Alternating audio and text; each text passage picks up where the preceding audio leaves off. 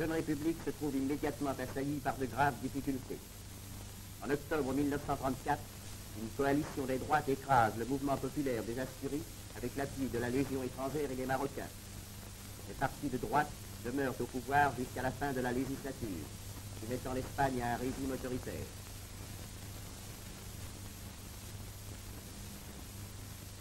Février 1936, élection législative. Les femmes participent à la campagne électorale et votent en grand nombre, y compris les religieuses.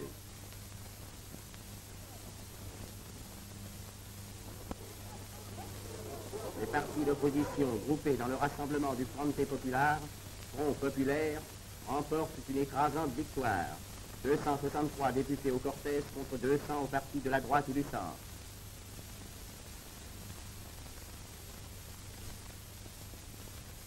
Largo Caballero, leader du Parti socialiste, se rend à une des manifestations populaires qui salue la victoire électorale du Front populaire.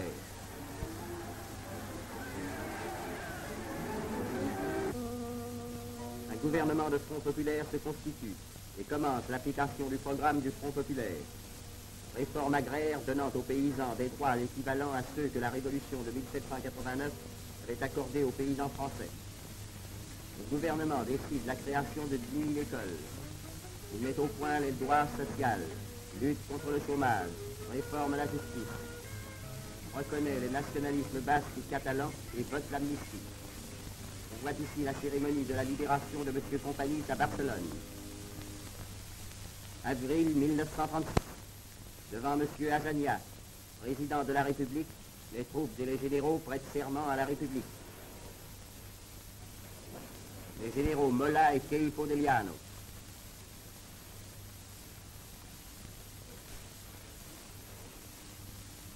La position géographique de l'Espagne, sa situation dans la Méditerranée, ses colonies et ses îles devaient en faire un pays prospère. Mais des passions partisanes et des intérêts intérieurs et extérieurs s'apprêtaient à compromettre la liberté de son développement. Et le 17 juillet, la direction des généraux Franco, Caballena, Mola, Deliano, un mouvement insurrectionnel éclate au Maroc espagnol, aux Français dans le sud et le nord de l'Espagne.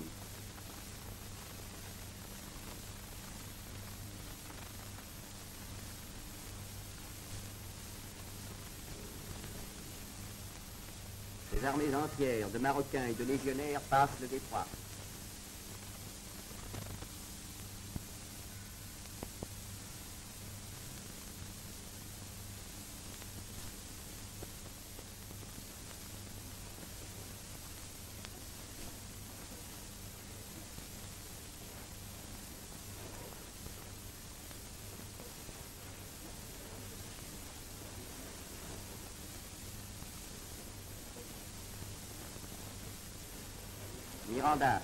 Chef des milices fascistes.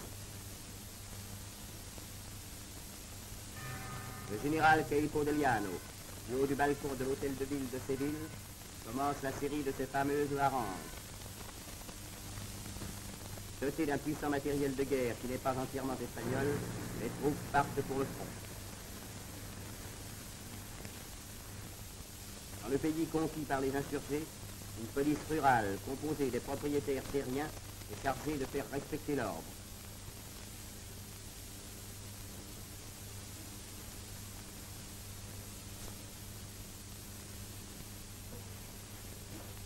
À Madrid, la révolte militaire est immédiatement réprimée. Il en est de même à Barcelone, de violents combats se livrent. L'opérateur a pu saisir quelques buts de bagarre.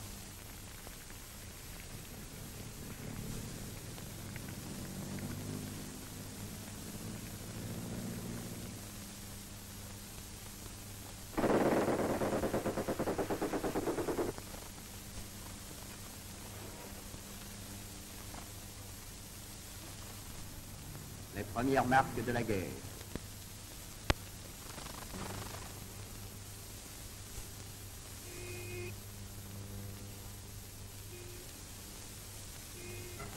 Partout, à l'appel du gouvernement républicain, les volontaires s'organisent pour résister à la pression de l'armée rebelle. Colonnes encore mal équipées, insuffisamment instruites, qui seront les noyaux de l'armée nationale républicaine.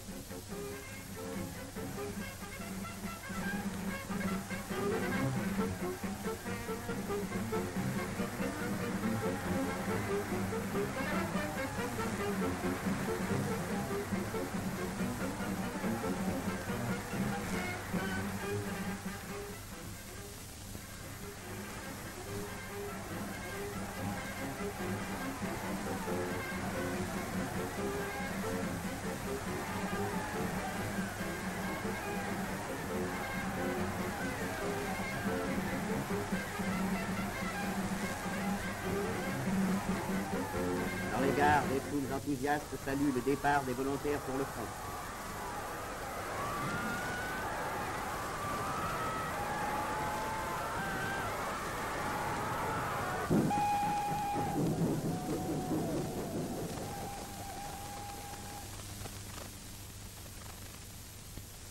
La flotte, sous la direction de ses officiers, tombe au pouvoir des insurgés.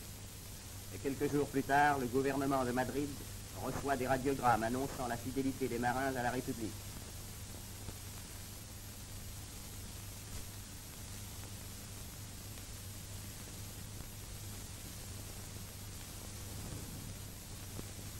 Le torpilleur Churuka canonne un hydravion.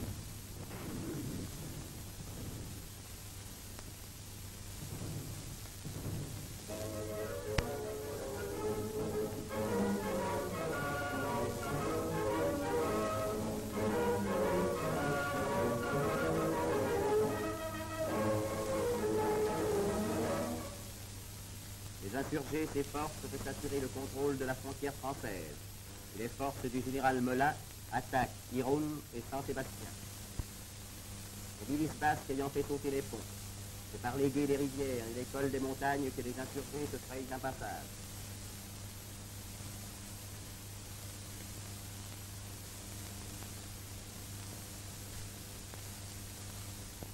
Un puissant matériel de guerre destiné à leur assurer la suprématie.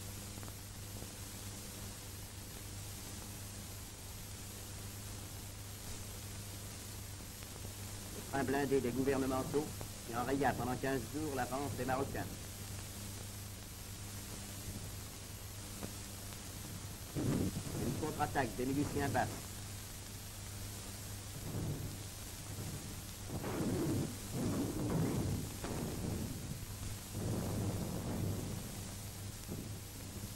Un d'eux tombe blessé devant l'appareil.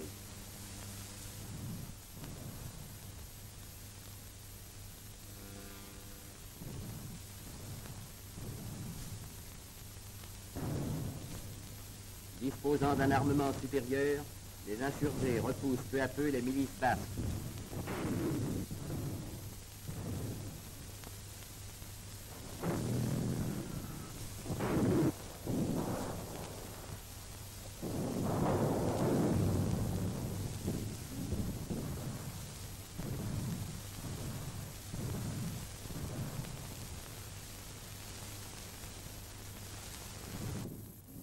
Précis incendie la ville.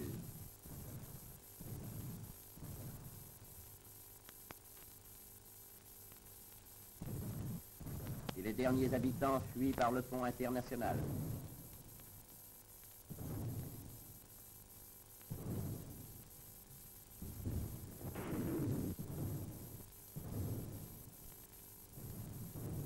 Les forces insurgées réussissent enfin à pénétrer dans la ville en ruine.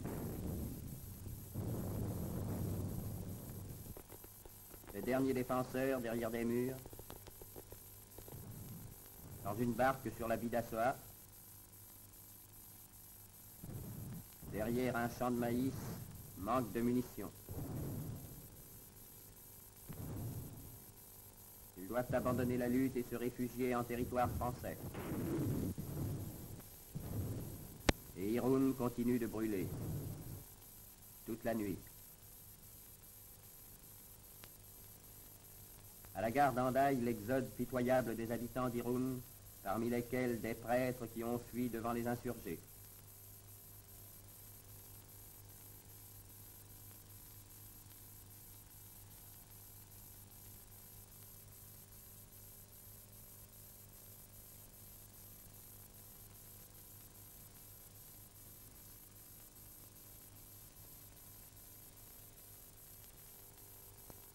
Dernier train venant de France ne franchit pas la Bidassoa et est refoulé sur Andaille.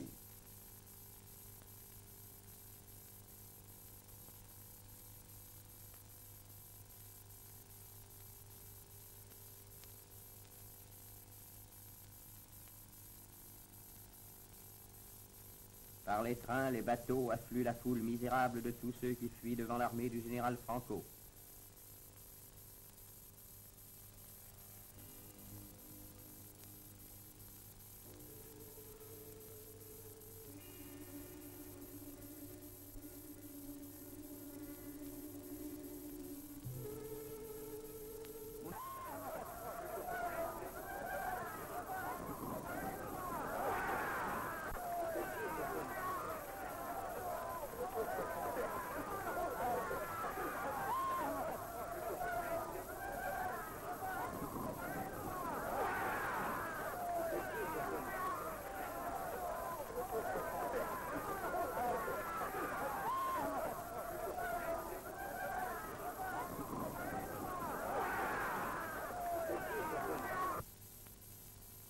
De Traverset de l'intransigeant fusillé. Louis de Lapré de Paris Soir abattu par un avion italien. Mais un nouveau gouvernement englobant tous les partis, toutes les organisations républicaines se forme sous la présidence de Largo Caballero. Il a pour tâche d'organiser la défense du territoire, la victoire de la République espagnole. Tout le pays travaille à un rythme accéléré.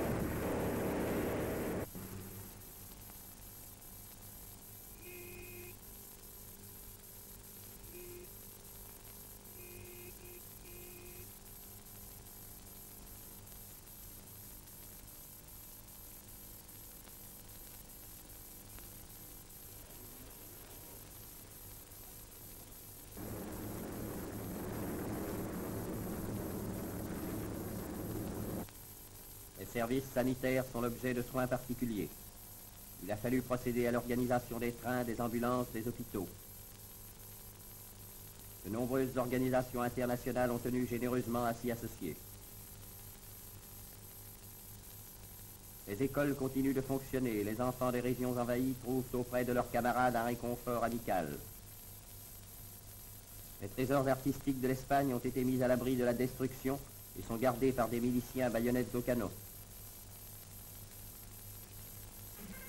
Sous la direction d'instructeurs qualifiés, se crée l'armée nationale républicaine, dont les bataillons partent chaque jour renforcer le front gouvernemental.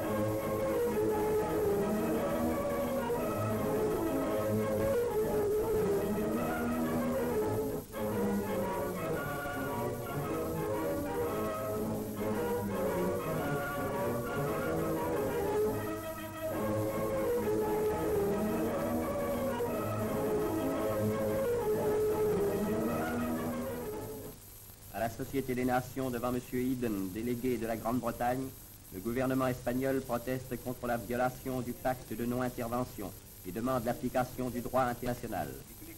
M. Yvon Delbos, ministre des Affaires étrangères de France, défend avec M. Eden la politique de non-intervention. D'autant plus redoutable que dans certains esprits, une crise de découragement et de scepticisme met en cause l'efficacité de la Société premier devoir est de rétablir la confiance, condition M. Alvarez del Valle, ministre des Affaires étrangères d'Espagne, prend la parole à son tour.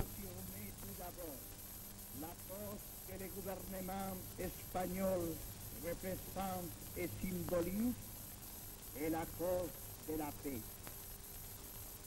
Cela peut sembler un paradoxe cruel, mais c'est pour cette cause que bout à l'autre de l'Espagne se battent tous ceux qui sont décidés à mourir plutôt que de se laisser arracher par la force et par la violence leur foi dans la démocratie et la liberté à l'intérieur, et aussi leur ferme adhésion à la paix comme règle suprême de L'Allemagne et l'Italie reconnaissent le mouvement insurrectionnel du général Franco et envoient leurs ambassadeurs à Burgos.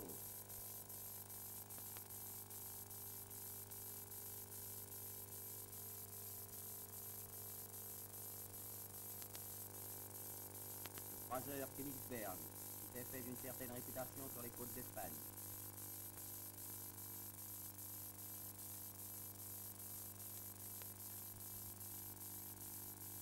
Italienne cingle vers les Baléares.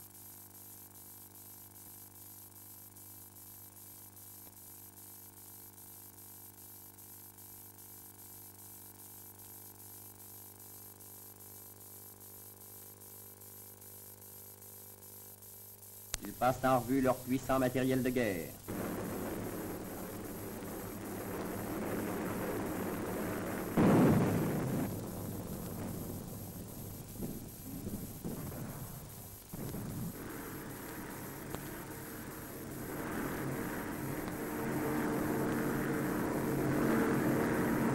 Matériel qui prouve son utilisation en Espagne.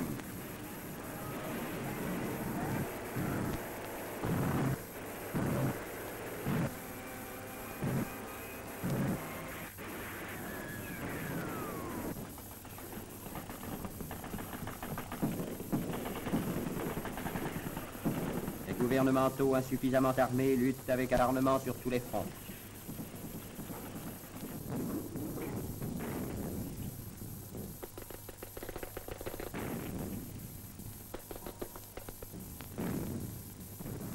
L'armement des insurgés a raison peu à peu de leur résistance.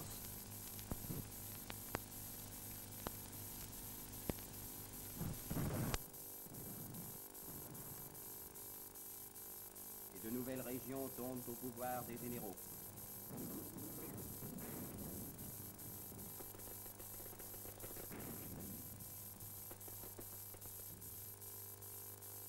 No pasarán, ils ne passeront pas.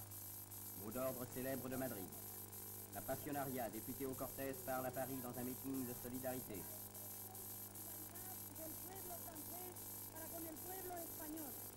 El pueblo francés no olvide que la lucha que en estos momentos sostiene el pueblo español es la lucha por la paz, es la lucha por la libertad, es la lucha por la democracia. Solidarité.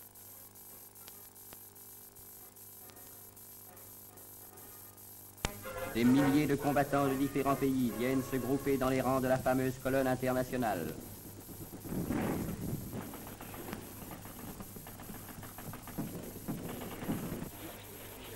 L'arrivée d'un bataillon dans les rues de la capitale espagnole.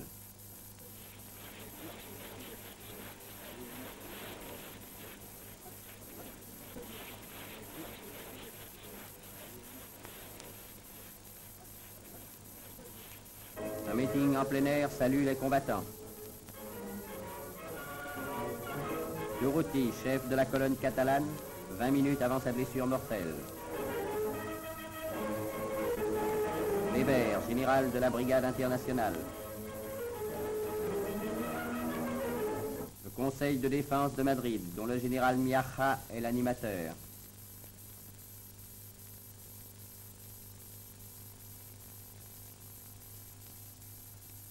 Largo Caballero, président du Conseil, et Alvarez del Valle, ministre des Affaires étrangères, visitent le front au nord-ouest de Madrid.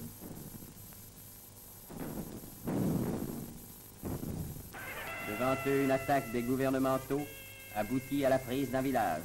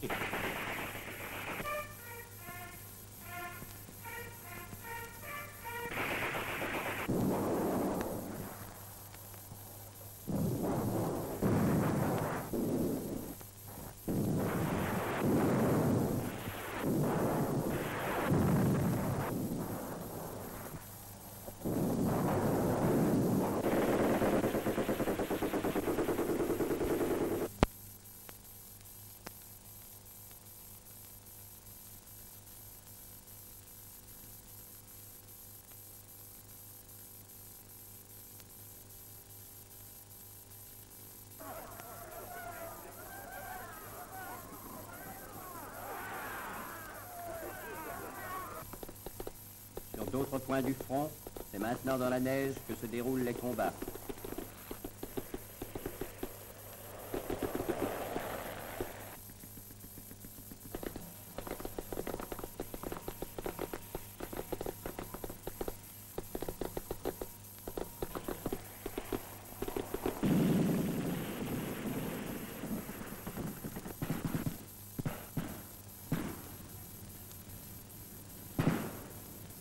Madrid est devenu le Verdun de l'Espagne.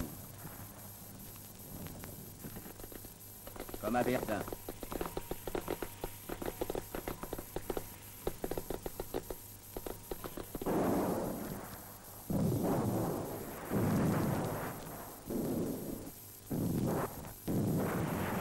Attaques massives, bombardements intensifs, armements gigantesques.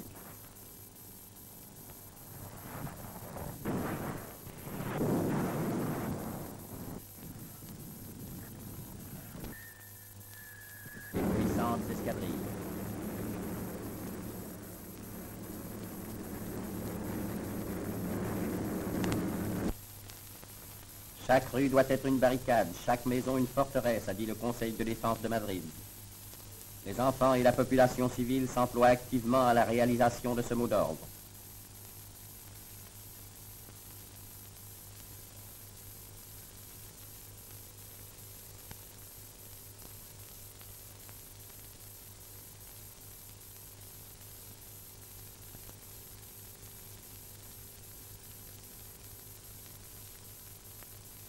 No pasarán, ils ne passeront pas. À quelques kilomètres, les lignes de défense de l'armée républicaine.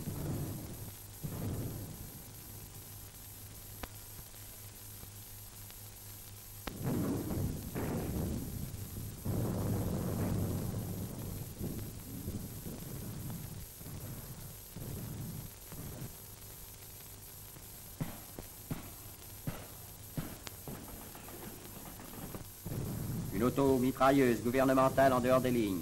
Un soldat républicain vient d'être blessé.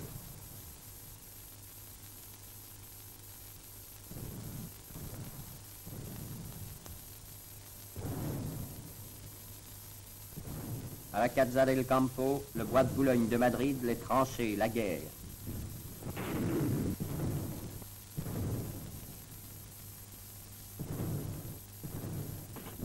sont venus aux premières lignes visiter le fils qui les défend.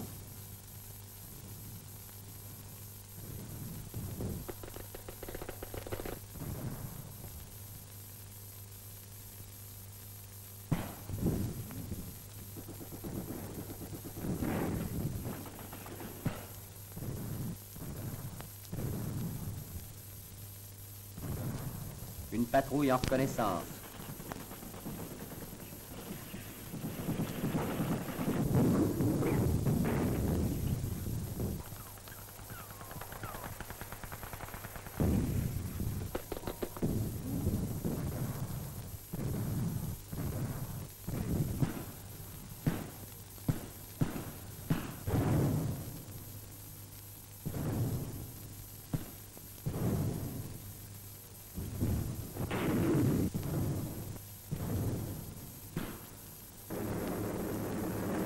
Pouvant franchir les lignes de défense, les insurgés ont recours à l'aviation pour s'attaquer à la population civile.